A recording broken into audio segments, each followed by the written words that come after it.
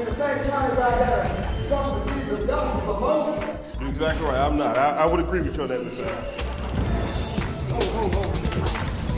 Please get me out this jail tonight. Get me out. Just get me out. Right here. After I ask you the medical questions, then I'm gonna take you over fingerprint, you all right? Praise the Lord, everybody. That's right. Okay. Got a question. Do you need any kind of protective custody from any kind of gangs? Any kind of gangs? Do I need- Motorcycle gangs, street gangs, No. Religious gangs? No gangs? Sir, no, I'm Okay. 55 years old with no teeth. Gotcha. I'm through with it. Okay. All right. Come back. Come back. Come back. Come back. Come back. What about alcohol? You do any kind, use any kind of alcohol? Hey. Hey.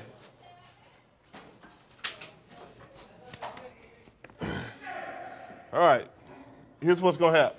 When you're ready to cooperate, we'll Yeah, get let you me tell you what I'm gonna do. No, no, no. You need to have a seat. You done made a mistake, sir. Listen, you, you don't, no, can I talk? Let me talk to the higher authority. Let me talk to the higher people. Let me, hey, let me in. Come in. talk. Come in. Come in. Come in. Come in. Come in. Hey, why y'all doing this? You don't need to do all that. Prisoners, look what's happening. All right, walk that way for it. Remember that prisoners, at midnight, at midnight, y'all get ready. Wow, y'all some bad boys for the.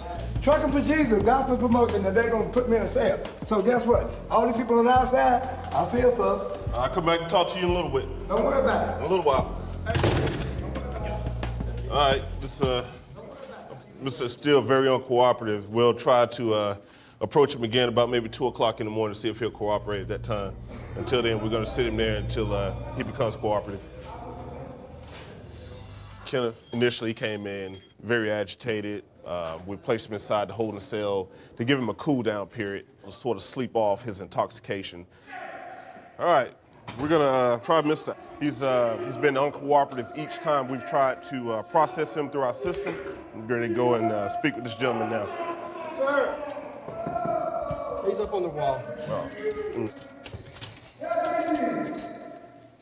Jesus. How'd you get up there? Help me, Jesus. Help me, Jesus. How'd you get Help up me, there? Jesus. Lean down. Help me, Jesus. Lean down. Help me, Jesus. Help me, Jesus. Help me, Jesus. Help me, Jesus. Help me, Jesus. Help me, Jesus. Help me, Jesus. Jesus. He didn't get me up here and put me in jail in the same in the same county where I got a truck with Jesus gospel moses You're exactly right. I'm not. I, I would agree with you on that, Mr. Adams. Help me, Jesus. Help me, Jesus. Help me. Jesus. Jesus.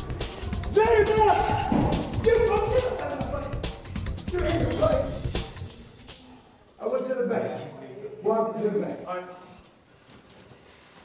Everybody back out, except Rob. All right, go ahead and have a seat. What I'm going to do, I'm going to go get the nurse at the same time. They're gonna shoot me too.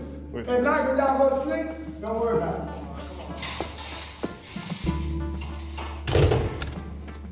In my opinion, if he continues, as like he just did, he got on top of that uh, concrete barrier, he could easily fallen off and bust his head wide open and really hurt himself. I think if he uh, if he attempts it again, I think the best option would be place him in a restraint chair until we could possibly get him calmed down, or, or if the nurse decides to send him send him to mental health for evaluation. All right, we'll, we'll sort the paperwork out. Another Friday night in, in the rest process. We busy tonight.